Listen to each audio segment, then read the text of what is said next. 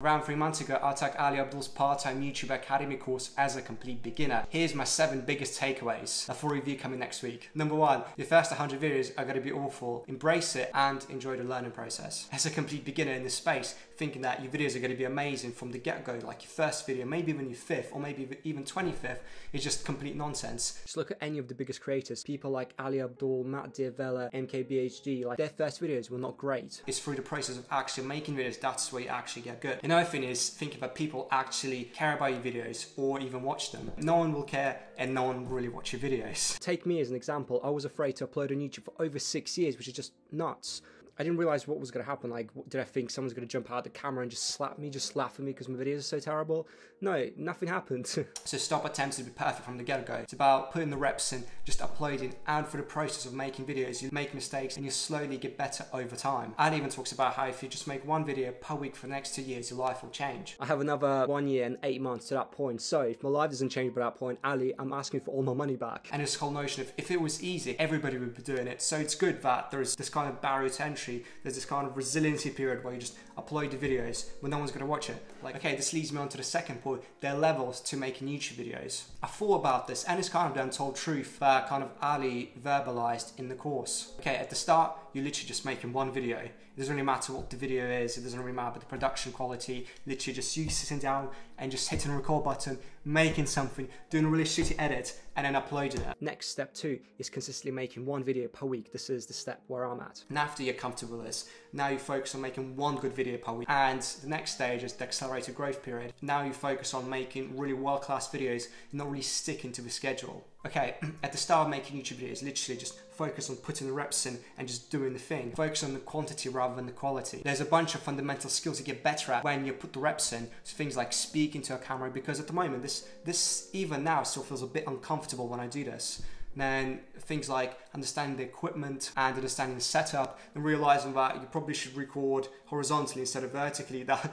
that's also another thing. Okay in this kind of paradigm in this kind of stage one to stage two this is what ali had to say. Stop trying to make the videos which you're proud of. Instead be proud that you made the video. I think ali adopted this from his writing coach or something along those lines. And so after making videos for around one to two years uh, you slowly get better. This whole kind of notion of just 1% improvement like these marginal gains which slowly compound over time. Had been 1% better. It's kind of difficult to quantify. Just simply look at the video just uploaded, kind of reflect on it, figure out what went well, what hasn't done so well, and then what you can do next time to kind of improve it. Uh, at the beginning, it's just as simple as, okay, cool, let me think about this transition, or let me think about maybe adding some B-roll, or maybe just adding like the quotation marks, something along those lines. And then as you get comfortable with the basic, this will come literally just subconsciously to you, and then you can focus on the other parts, maybe like focusing on just the hook, maybe focusing on your storytelling abilities and focusing more on the thumbnail and the title and kind of stuff like that. And then coming back to a point, if it was easy, everybody would be doing it. And you kind of you can't expect to be perfect from the start. And it's through the process of actually putting the reps in and slowly, slowly getting better, you actually get really good.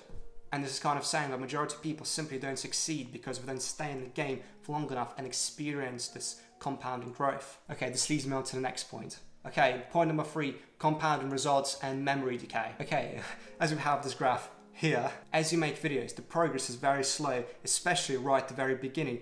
But when you stick to it and slowly just simply improve every video just simply by 1%, the compounding starts to take place. And after hitting this critical point, things begin to change exponentially and everything starts to move a lot quicker. At the start, it's literally just one big struggle after big struggle. It's literally just heavy lift after heavy lift. There's an incredible amount of resistance from learning how to speak to a camera, learning how to edit, making thumbnails, or even realizing that you have to make a thumbnail all these different systems which you haven't even thought of before, or simply just getting over the fear of putting yourself out there on the internet. Meanwhile, putting around 10 hours per video and experiencing like five, maybe to 10 views at a time. As you stick to it, you kind of, your brain will adapt to all these different learning points and a lot of these things will become automatic. Improve, you systemize things. Speaking to a camera literally just becomes like second nature to you.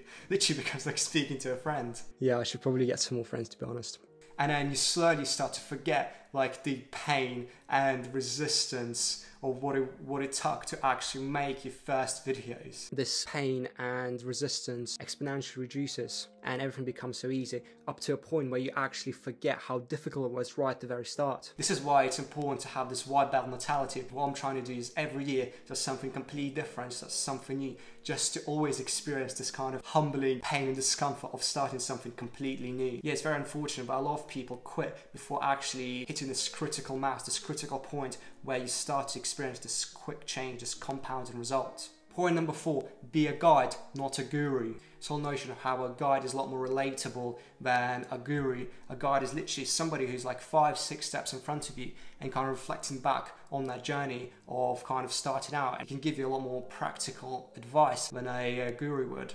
Here's an example. Uh, it's a lot easier to learn a guitar for somebody who only started out about six months ago than somebody who started out around six years ago. Guru kind of forgets what it was like to be a beginner, and it's just a lot easier to learn from a friend, somebody just a couple of steps in front of you. It feels a lot more relatable, a lot more achievable uh, than like a guru because we, yeah, we've seen all these gurus like I'm here in my garage, Dan Lok, Tai Lopez, and kind of like individuals like that this is like another thing what kind of prevents me from starting YouTube. I felt I had to be naturally incredibly good at something for me to actually share it online, but in reality it's just not the case.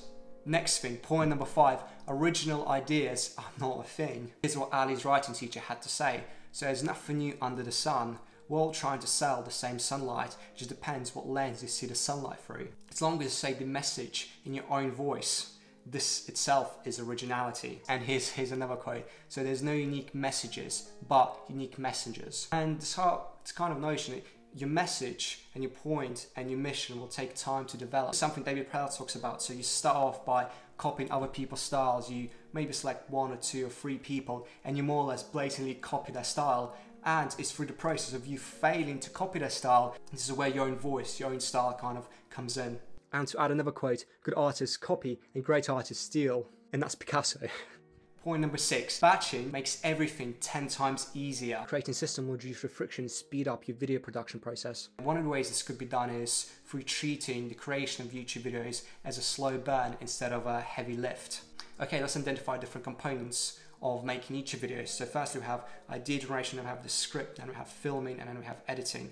So in terms of idea generations, so you want to have some form of idea capturing system. For a start, you can literally just go on your phone and open the note-taking app of your choice. Uh, just write down just simple ideas. And then you can obviously get a bit more advanced with it, like having your own Notion system, which is what I have. And then I might actually make a video about this in the near future. As soon as ideas actually arise, you want to literally just capture them and just write them down. And as your ideas unfold, write them down and expand on them whenever you feel like, really. So I don't mean like having a 500 or like 10,000 word essay. I literally mean just kind of like coming up with just a bunch of bullet points. And if you want to expand those bullet points, yeah, just go for it. And then the next thing is filming. You have a bunch of scripts ready, like two or three scripts. Like at the moment, I'm going to be filming around two or three videos batch the filming process together. This will save so much time. It takes around 30 minutes for you to set up all the equipment, for you to warm up and get a bit more comfortable speaking to a camera, and then for you to take all the stuff down. If you're only recording for like half an hour, that means 50% of your time is literally there to set up and to take everything down. And what you can do instead is batch a bunch of scripts together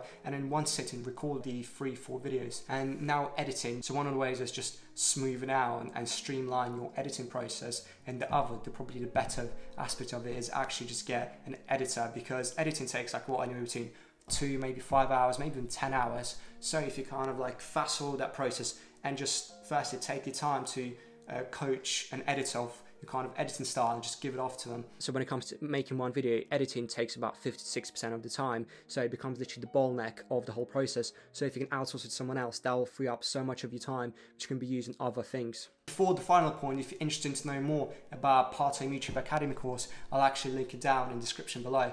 It might be so you want to make the whole process frictionless. Actually, I could mention other stuff such as the high framework, the science behind thumbnails and titles which you have to like optimize. But as a beginner, I think the biggest problem and the biggest bottleneck is actually you sitting down and pressing record and overcoming this friction. So friction is the most powerful force in the universe. When things are easy, they're more likely to get done. there are two types of friction. Okay, there's the environmental friction and there's the emotional friction. Environmental friction could be like, oh, my light is too far away. It could be my camera's broken or it takes forever for me to actually set up What a laptop I use is just incredibly slow. And then emotional friction is kind of having imposter syndrome, being just perfectionist, so to minimize the environmental friction, this could be instead of you resting your phone on some books, you get a proper tripod with like a hot shoe attachment so you can attach the microphone to that. Or it could be again a bare laptop so that you can edit a bit more efficiently like what I did.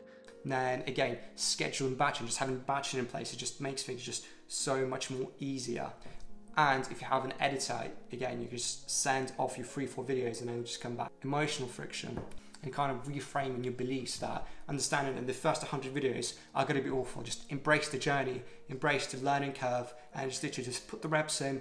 And after those 100 videos, you're going to be exponentially better than where you started. Okay, from personal experience of being afraid to upload for over six years, 99% of the fear will literally dissipate as soon as you upload the first video and realize that no one really cares. Yeah, okay, just to clarify, the niche doesn't matter, neither does the equipment, nothing matters. Just sit down fucking press record. And then having a kind of group of people where who are in the same boat is also incredibly useful. This is another reason why this course is just so good, just kind of like the community aspect of it. You have someone to kind of keep accountable to, make sure that the videos get done. And secondly, maybe you can have, you can set up meetings where both you literally have like a power hour where you script the videos or maybe come up with video ideas or maybe just record videos together, like whatever, whatever it takes really. You can have an agreement with somebody. If you don't upload a video every week, then you have to give like a hundred euros or like a hundred dollars. For me, if I had to give a hundred pounds away if I didn't upload the video, this will be significant amount of pain for me to just upload a video instead. Okay guys, thank you much for watching the video. I'll see you again next week. Bye.